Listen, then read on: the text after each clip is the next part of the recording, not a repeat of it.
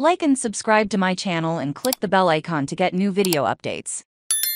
Discovery Channel greenlights Survive the Raft, a new series where survival epic meets social experimentation Warner Bros. Discovery Los Angeles Discovery Channel has greenlit Survive the Raft, a series that explores what happens when strangers from all walks of life come together to live and work at sea. It premiered exclusively today during the unveiling of the Max streaming through Warner Bros. Discovery announced service at Warner Bros. Los Angeles property The nine-part social experiment was inspired by Mexican anthropologist Santiago Genovés's 1973 behavioral study, of observing whether people of different cultures and backgrounds interacted transcend their differences and worked together during a 101-day journey on the Acali.now. 50 years later, Discovery Channel revisits its pioneering work with a new raft and a new twist on the original mission. Hosted by Nate Boyer, U.S. Green Beret Army, NFL football player and actor, the series is slated to premiere on Discovery Channel and Max in July. Produced near Panama's Pearl Islands, Survive the Raft follows nine different contestants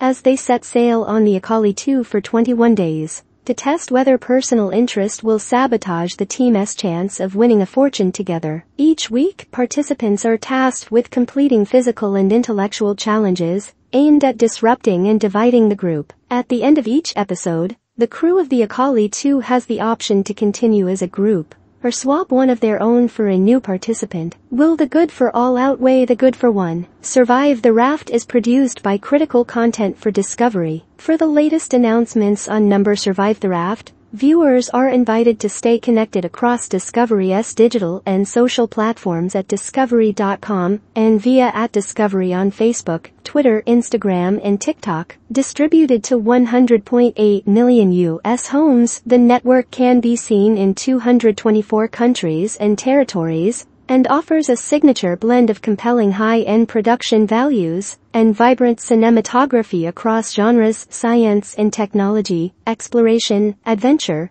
dot dot dot.